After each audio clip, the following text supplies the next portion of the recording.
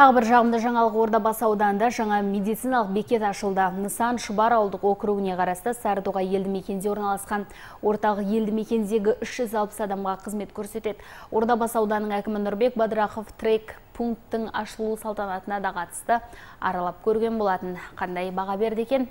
Әріптесім айтсын.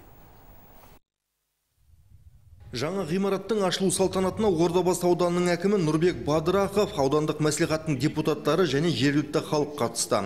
Тұрғындар медбекеттің қолданысқа берілгеніне қуанышты. Шашу шашып, ризашылығын білдірді. Қызыл лентасын қиды. Беріліп отырған емхана бекетін баршаларыңыз тамашалап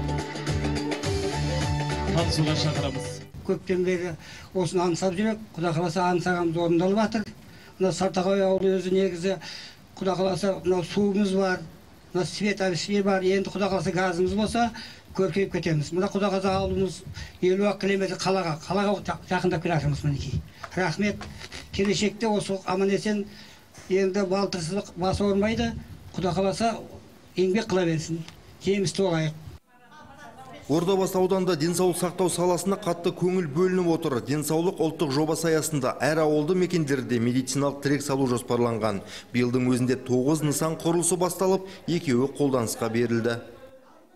Енді осы ә, халқы үшін осындай 300-ден астам ауыл халқы үшін қанша жылдан бері келатқан өзекті мәселе осы медициналық тірек. Бүгін енді өте қуанышты күн.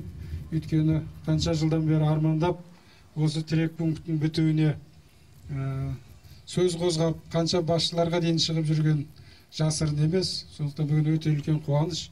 Әрі бірінші маусым халықаралық балаларды қорғау күні қарсаңында осындай ауылдың игілігіне беріліп жатқан жаңа ғимарат тек қана осы ауылдың тұрғындары үшін денсаулығын нығайту үшін аянбай қызмет ететін жаңа ғимарат болсын.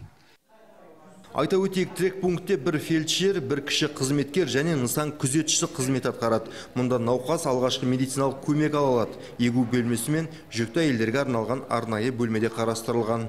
Нұрлан Пайызов, Рулан Рүстемов, Ербол Мақашев, жаңалықтар.